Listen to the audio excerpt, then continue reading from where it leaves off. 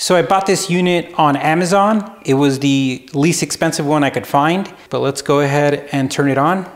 The unit is powering up and the goal is to be able to open it up and scope it.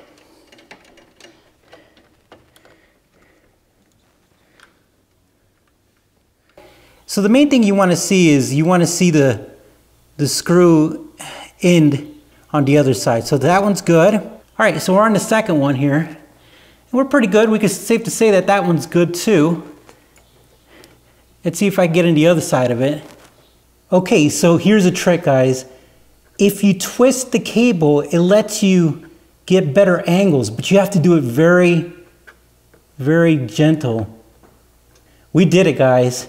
We saw all the screws, they're all sticking, they're all where they're supposed to be, and this was a huge success.